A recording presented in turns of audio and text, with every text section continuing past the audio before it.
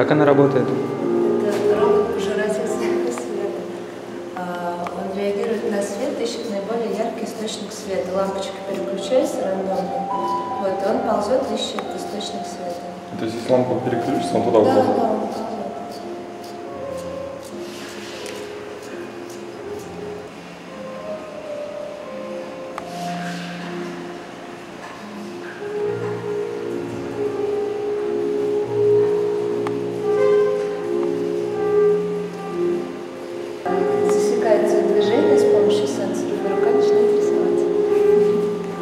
На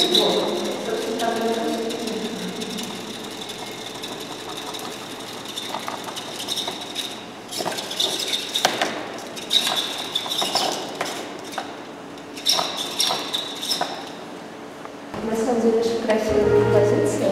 Вот растение, которое на экране, оно находится в США, в Миннесоте, в родном городе художника. Оно раскачивается на крыше университета и с помощью акселерометра